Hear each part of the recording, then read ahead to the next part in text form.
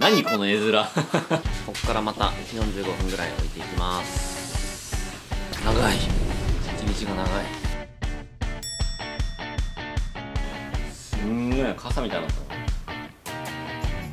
かけなくてよかったはいこんにちは。ショートボブ専門美容師のミッチーです。まして美容師 YouTuber の翔平です。今日はよろしくお願いします。あれ2回目。ちなみに2回目ですこのくだり。音声入ってなかったんで。はい今日はですねお二人にお越しいただいて僕の髪を染めていただこうと思っております。はい。今ね僕髪黒くなってるんですけど地毛。地毛。まあ、リリー入った頃なんかはねマジックみたいに真っ白でそれがまあだんだん伸びてねああいうメッシュみたいになってでいつぶりですか？染めるのは1年半ぐらい1年おう3ヶ月ぐらい。えじゃあ早い方ですよこうこの分伸びたってことですあそうそうそうもっと長かったですね最近までそうね、まあその僕がねいつもホワイトヘアもう何年もやってるんですけど、まあ、やり方もまあちょびっと年々アップデートはしてるんですけど、まあ、お伝えしつつ、まあ、これからまた伸びていく過程でねだんだんメッシュになっていくので YouTube 始めた当初髪の毛どうやってる染めてるんですかみたいなコメントもあったからありましたね。変化の部分をねお伝えできれば今後いいかなと思って今日はね僕のために2人の休日を頂戴しようと思ってますねいやいやもう一番今伸びてる YouTuber にちょっとコラボさせていただいてちょっとお願いします。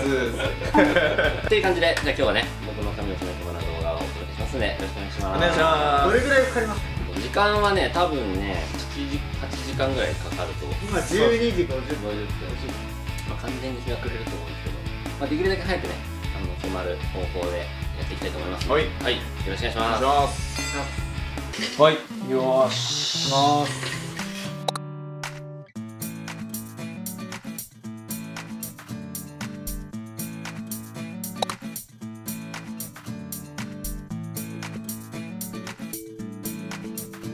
はい、えっと今日は、まあ3人でちょっとまたカラーするんですけど、まあ、ミッチーさん、ご覧の通りですね、バージン毛です、今真っ黒な髪で。バージン毛からやるのが一番ムラがないからそうです。まあそのためにずーっと伸ばしてたっていうのはありますね僕は。はい。1年に1回、まあ、真っ白にしてみたいな。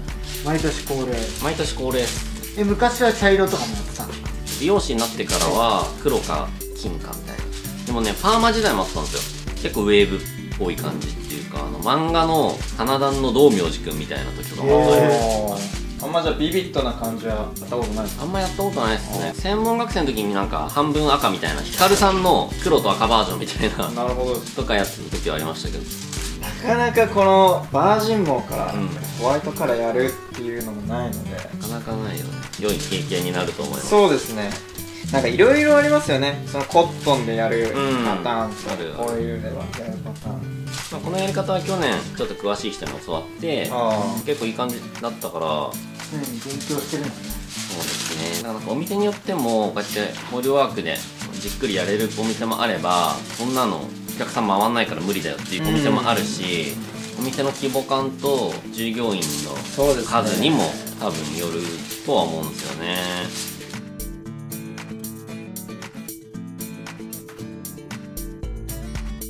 ミッチーさん根元黒でうん。全体が白っていうデザインが好きなんですよ。そうそう。あとまあ根元染めると頭皮しみるしああまあ。元からプリンだったら、まあ後からプリンになった時に。自然。そう自然だし。バチバチに根元染めて1ヶ月経つとさちょっとダサくなるじゃん。ああれが嫌なんだよね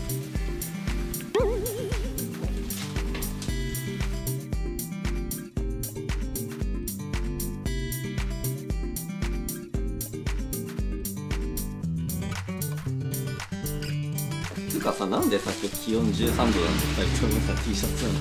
あいやもうやっぱ気合を入れてちょっこれなんかヒートテックにパーカーなのに。とやばいですね。暑いですよ。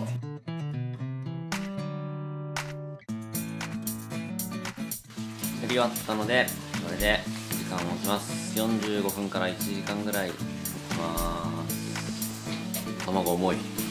取って拭いて塗ってまたつけての繰り返し。ですね。下から。下からですね、まあ、下からやる意味っていうのはやっぱ下の毛の方がはいはい。抜けにくいからっていうのと、はい。下からやっていくことでまたアルミをきれいに貼り直せる効果もある。コーミングするときに今塗ってあるところよりちょっと手前からコーミングしてやると元の方に伸びないからグラデーションにならなくて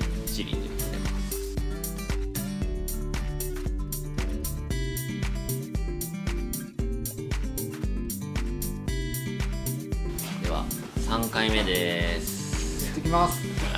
後ろにいる人たちってのやばいとか何この絵面。顔するカオスな絵面になってますね。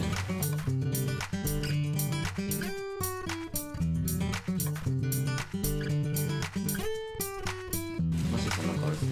3時間前より手つきが良くなってます。いや慣れてます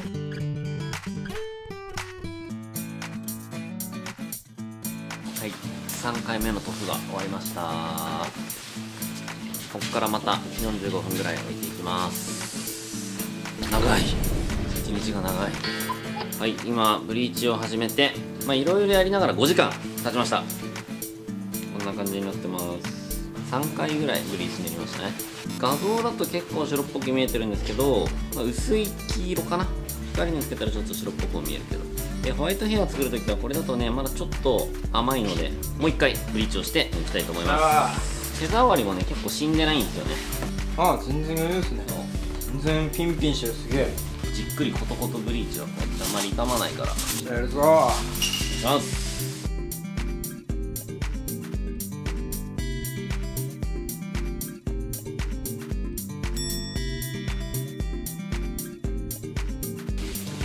4回目の塗布が終わりました。こんな感じです。まあ変わんないですね。これで、えーもうかなりね極みがなくなって白に近いぐらいのペールイエローになっているんじゃないかなと思います。から45分ぐらい置きたいと思いま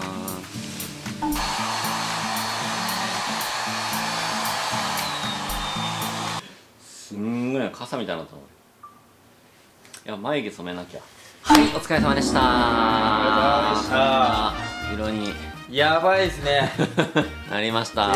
劇的ビフォーアフターですよ。懐かしの雪色。本当懐かしいって感じです懐かしいよね、はい。多分視聴者さんはねめちゃくちゃ違和感あると思あうんですけどもうずーっとこれだったもんね。はい。ありがとうございましたこんな。いやこちらこそ。僕もそうですまあねやってもらったんでみんなでやりやり役で、はい。マーシーさんはあの終電のためあの先にね、はい、帰っちゃいました。ね、はい。飛行機に乗ってね帰らない。とい。けない。んですけどとい。う感じで今日はねホワイトカラーの僕がね、まあ、い。つもやってい。るとい。うかのカラーリングの模様をお伝えしました。えこれからはねちょっとこんな色で登場するのでこれからもえよろしくお願いします。今後これをキープするための。キープの方法としては、まあ、まあ直毛なんで結構乾かすとツヤがあるし、うん。なんとかなってるけど結構ギリギリじゃないですか。そうですね。濡らすと結構テロって。やばい感じはあそうそうそう。りましたねあちょっと今回ブリーチすぎたとかちょっと思ったんですけど、やっぱりシャンプーで髪が傷むのでねできるだけダメージの少ないシャンプーを使うことがまあ必須になるので、まあ、僕も家で使ってるんですけど、まあ、リリーで出してるフラワーズっていう一応日本で一番ダメージが少ないよねこのシャンプーが。そうですね。まずダメージを抑えたいってなったらこれやっとけばもう間違いない一択ですこれは。高いですけどね。高いですよね。であとは、まあ、日によってキングオブムラシャン。うん。まあ今有名ですよね。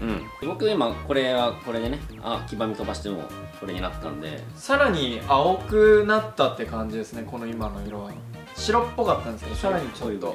こんなに白くなくていいやっていうんであればこれ使わないで普通にシャンプーしてればちょっと黄色っぽい白さっていうそうですねの方になっていくしっていうのはまあ気分で調整していこうかなと思います、ちょっとねノーセットでねぺちゃんこなんですけどこれからはこんな感じでいきますのでよろしくお願いします。ニューミッチーさんね。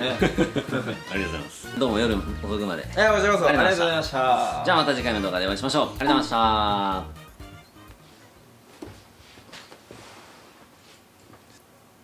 はげなくてよかった